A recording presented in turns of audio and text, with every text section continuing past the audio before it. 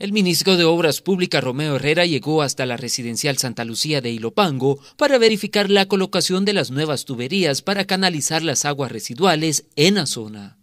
A mejorar la capacidad hidráulica, vamos a mejorar todo el tema de las tuberías, vamos a hacer una reorientación de todas las aguas para llevarla hasta el río Las Cañas y adicional el relleno masivo con suelos estables. Eh, la vez pasada rellenaron con tierra blanca, nosotros estamos viendo eh, suelos estables para colocar en, en esta zona, además de los docretos entre otros tipos de cosas que vamos a colocar en la base. Eh, ahí se va a poder construir, si es necesario construir, no habría ningún problema porque la obra que vamos a hacer sí va a ser una obra integral. Y no solo lo que vamos a actuar ahorita, como les mencionaba, sino toda la obra que vamos a hacer en la cuenca. Los habitantes del lugar esperan que las autoridades tomen en cuenta todas las observaciones que ellos han hecho para evitar que esta situación se vuelva a repetir. Esto no es fácil.